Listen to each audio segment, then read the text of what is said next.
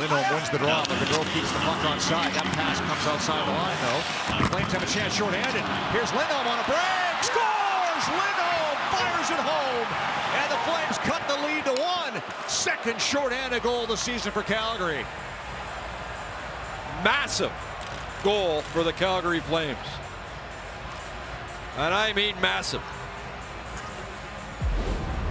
Things don't look very good. You're in the penalty box.